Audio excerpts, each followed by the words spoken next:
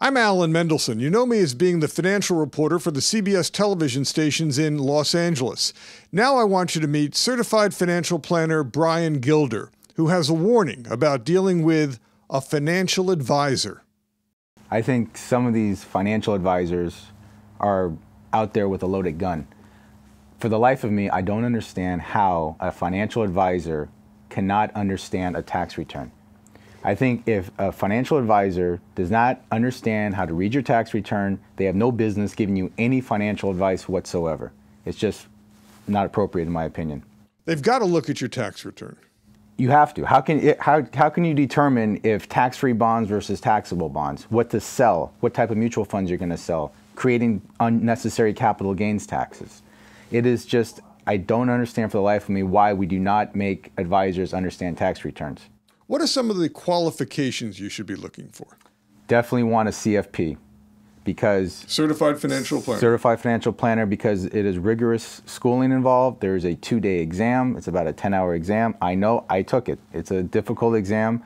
There's a lot of advisors out there claiming they have credentials that really don't add up to anything, in my opinion, because they can go to a class for one day, get a certificate, pay a fee, and they have a credential and they're going out there with loaded weapons, in my opinion, giving people advice that, in my opinion, is not the best advice.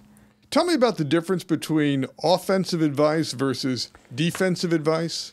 When people talk to me, they always ask me, what's the best investment? Where should I put my money? And before you can do anything with investments, you need to take a few steps back and think about your insurance, your credit cards. You need to have emergency put away. You have to put six to nine months away in an emergency account. And most advisors never ever recommend this to clients. And it, it baffles my mind how you can make a good offensive game by talking about how great these mutual funds are, how great the stocks are. But you could have the greatest stock portfolio in the world, but a couple days in a hospital mixed in with a surgery and you don't have good health insurance, that investment portfolio is gone. And you're also talking about the importance of good insurance like life insurance. Life insurance is extremely important.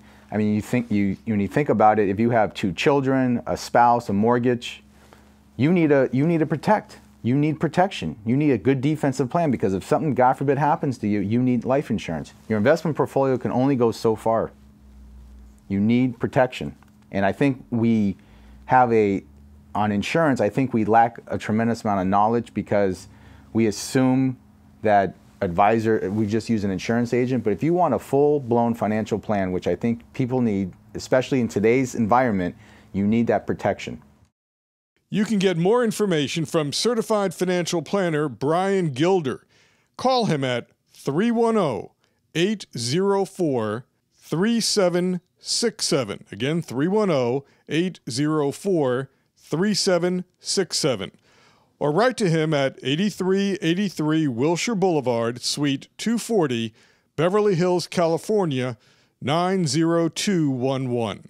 I'm Alan Mendelson. Thanks for watching.